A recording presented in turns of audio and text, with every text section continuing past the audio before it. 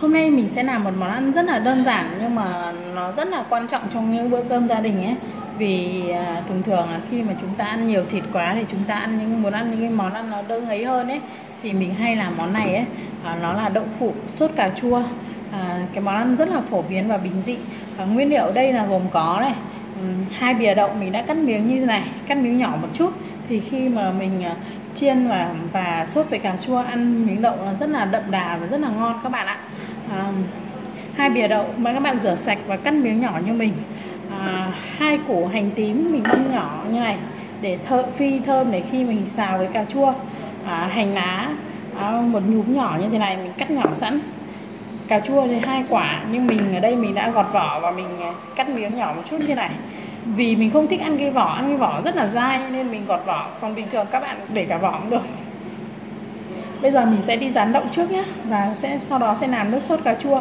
Nếu các bạn muốn ăn nước sốt cà chua của chúng ta sánh hơn thì các bạn lấy hòa một một thìa bột năng nhé không thì các bạn nấu bình thường như thế này không cần bột năng như mình nhé còn gia vị ở đây gồm có mắm này mì chính này và một chút uh, bột canh. Nếu các bạn ăn được cay cho thêm một chút uh, uh, hạt tiêu vào cũng được nhé bây giờ mình sẽ đi làm luôn đây rán đậu trước các bạn ạ các bạn cho đậu vào cái chảo chống dính, các bạn dán vàng hai mặt là được.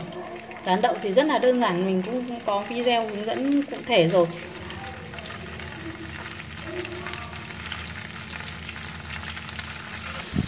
Với đậu thì các bạn dán là lửa vừa nhé đừng cho lửa nhỏ quá nhé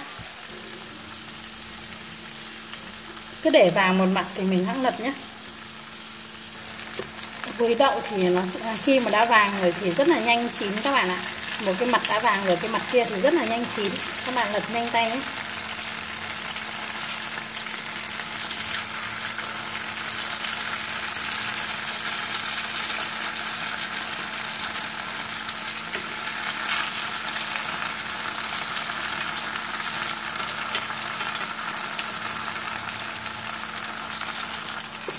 Khi đậu đã được rồi, mình sẽ cắt ra cái đĩa này.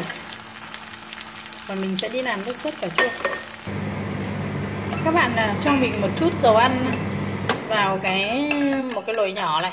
Và mình cho cái hành tím băm nhỏ mình vào phi thơm lên, sau đó mình cho cà chua mình xào nhé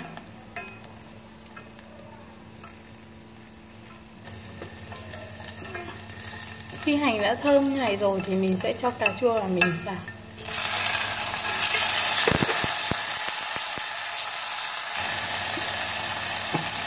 Các bạn cho mình luôn một chút bột canh vào nhé, để cho cà chua nhanh mềm.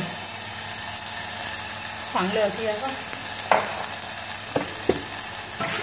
lúc đó mình sẽ lên lấy gia vị sau bằng cách cho mắm và mình chín sau.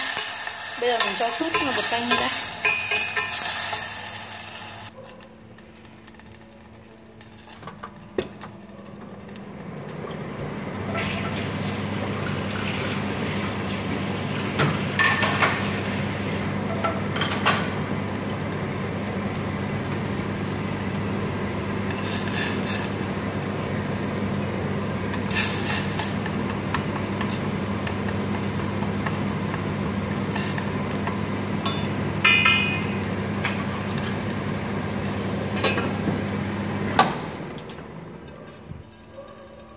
Mình đậy vung lại cho nhanh mềm cà chua nhé.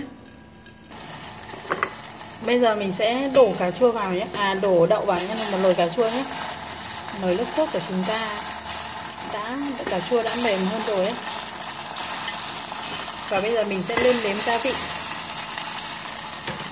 À, các bạn lưu ý là khi đổ à, đậu vào ấy à, như thế này ấy, các bạn vẫn đun thêm một hai phút nữa cho nó ngấm gia vị ấy để đậu chúng ta ngấm gia vị và à, vị ngọt vị chua của cà chua vào ấy.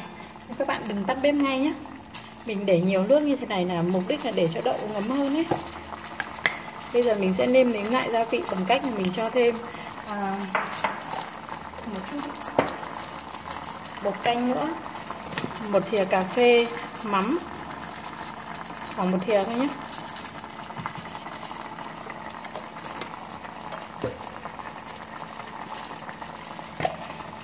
Và một thìa mì chính.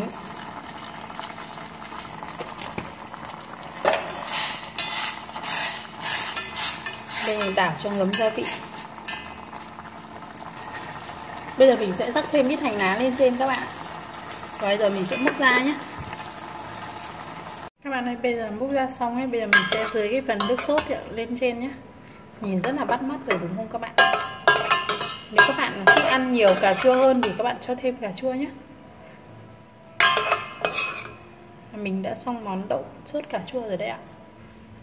Không biết con mọi người thế nào, nhưng con mình ấy, khi phần nước sốt này cháu rất thích ăn các bạn ạ. Như này là mình đã làm xong rồi đấy ạ.